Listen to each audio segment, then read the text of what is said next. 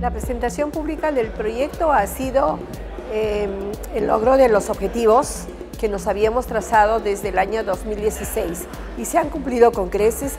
Y lo más importante que hemos tenido felicitaciones por los representantes del PNIA que hemos superado, que hemos superado con todas las expectativas y, y sobre todo la importancia de resaltar que toda la investigación tiende hacia la revalorización de nuestra biodiversidad para la puesta en marcha y el diseño de alimentos funcionales que podrían prevenir enfermedades crónicas tan eh, de moda y de, que es una pandemia en estos tiempos.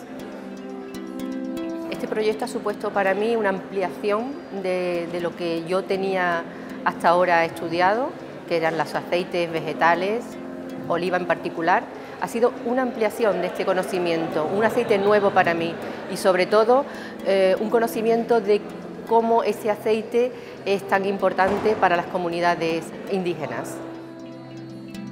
Nosotros en el programa, en el PENIA, tenemos más de 650 subproyectos financiados con el Banco Mundial y este forma parte de ellos. Con este proyecto buscamos la generación de conocimiento, la investigación y este proyecto ha mostrado los resultados esperados. ¿No? Eh, ha, mostrado resultados más completos aún porque venimos desde campo trabajando hasta lograr elaboración de sus productos. Realmente como programa nos sentimos satisfechos porque los resultados de este proyecto son los que nosotros vamos a mostrar como resultados del programa.